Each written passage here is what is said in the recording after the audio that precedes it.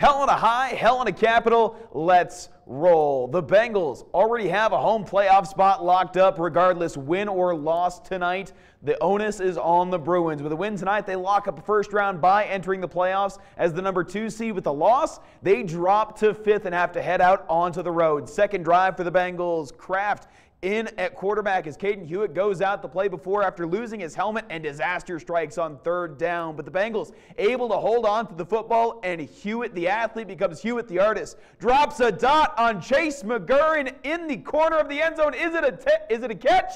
Yes, it is. Bengals up seven to nothing.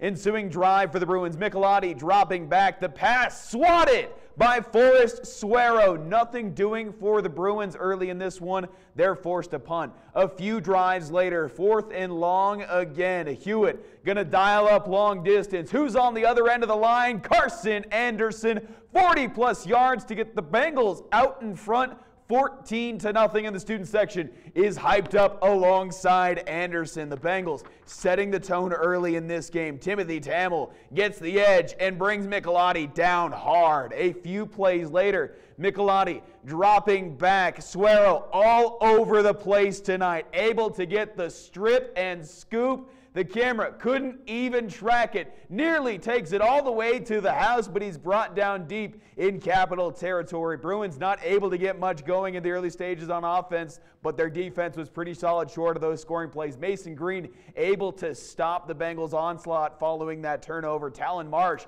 able to wrap up Caden Hewitt to get the sack, but the Bengals' momentum was much too strong. They win 21